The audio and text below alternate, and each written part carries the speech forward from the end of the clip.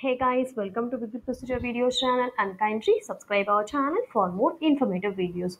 So in this video, we are going to see how to apply for agricultural products trade license in Rajasthan. The link and highlighting right now is provided below description of this video. You can click on it to reach this page.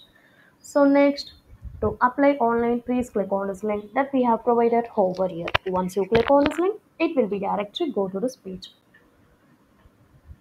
So now you have to scroll down and you have to click on the apply for new license registration.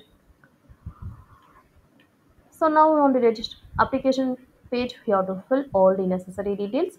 Name of the company, organization, address, select the state, select the district, select the sub-district, PIN number, PIN code, GST number, CAN number, PAN number, and then click on the save and next button. So next you have to fill the product selection, and then you have to fill the communication details. Then you have to attach all the necessary documents. So finally you have to pay the amount in online mode itself. So after successful completing the payment, a receipt will be generated within your 17-digit reference number. Make a print of it and keep it safe for future reference. And you can track the application through the home page. This application will be processed by them and they will notify you through your email or the SMS.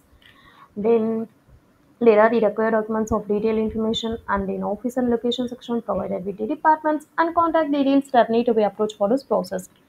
Then in fee section, so you have to pay the fees as per the authorities request. So we have provided all the information in each and every section. If you have any queries or about videos, just comment us so we will get back to you as soon as possible. And kindly subscribe our channel for more informative videos. Thank you.